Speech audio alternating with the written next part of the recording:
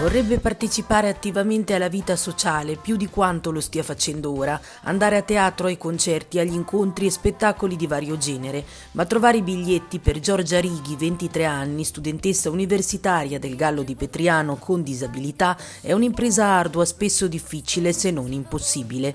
Giorgia a 9 anni ha scoperto di avere una patologia neurodegenerativa e da quando ne ha 12 si muove in carrozzina. I momenti bui li ha sempre affrontati con la grinta che le appartiene la stessa che l'ha portata tre anni fa a scrivere il libro Vivere volando. Non so dove stia andando, nemmeno in che luogo mi trovi ora, scrive Giorgia, ma mi sento leggera e libera, come non mi sono mai sentita prima. Volo. La sua seconda casa è la piscina, spesso in acqua a nuotare oppure sul piano vasca come giudice di gara. Oggi l'appello forte e chiaro Giorgia lo fa alle istituzioni. Io sono una studentessa di scienze motorie, un'istruttrice e giudice di nuoto e sono appassionata di arte e sport, quindi mi piace tantissimo partecipare dal vivo agli eventi. Non è sempre facile, tutt'altro, per chi ha una disabilità, perché i biglietti degli eventi non sono mai facilmente trovabili è sempre un'impresa capire chi se ne occupa, se l'ufficio adatto piuttosto che l'organizzatore o il palazzetto e non viene mai indicato un contatto da chiamare, quindi noi disabili siamo sempre alla ricerca spendendo tanto tempo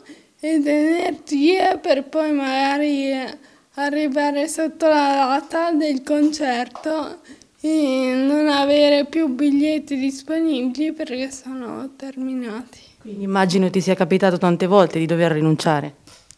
Sì, tantissime volte perché è un problema che dura da sempre in tutta Italia e purtroppo ancora oggi per i concerti odierni è la stessa situazione. Vorrei chiedere alle istituzioni, alle persone che si occupano di agenzie di rivendita biglietti che la vendita dei disabili sia standardizzata come tutti, in cui anche su un semplice sito si possa acquistare biglietti per un disabile come per i normodotati.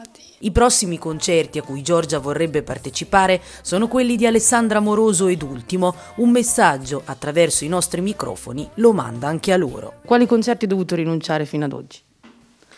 Purtroppo ai concerti dell'Amoroso e di Ultimo a cui non ho riuscito a trovare i biglietti e vorrei che anche questi cantanti famosi dessero una voce alle persone che come me hanno difficoltà e che magari anche loro per primi fossero messi a conoscenza delle difficoltà.